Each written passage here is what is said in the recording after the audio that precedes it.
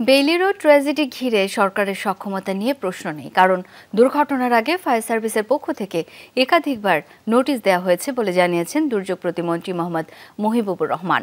সকালে রাজধানীর এফডিসিতে ডিবেট ফর ডেমোক্রেসির ছায়া সংসদ বিতর্ক শেষে কথা জানান তিনি। বলেন, ব্যবসায়ীদের দায়িত্বহীনতার জন্য এই ঘটনা ঘটেছে। বর্তমানে চব্বিশ তলা পর্যন্ত ভবনে আগুন নির্বাপনের ব্যবস্থা রয়েছে বলে জানান প্রতিমন্ত্রী।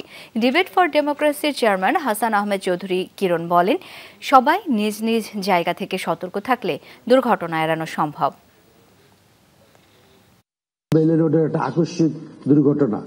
এটা, এটার সাথে আপনার সক্ষমতার কোনো সমস্যা নাই। চব্বিশ তলা পর্যন্ত বিল্ডিং এ ফায়ার ব্রিগেড এবং সেখানে মানুষকে রেস্কিউ করা এবং তাদের আগুন বন্ধ করার মতো বর্তমানে বাংলাদেশ সরকারের সক্ষমতা রয়েছে। যদি আমরা সমন্বিতভাবে কাজ করবার জন্য আমরা দুর্যোগ ত্রাণ মন্ত্রণালয়কে দায়িত্ব দিতে পারি, তাহলে এই যে আমাদের সমন্বয়হীনতা, সেই সমন্বয়হীনতা থেকে আমরা পরিত্রাণ পাবো।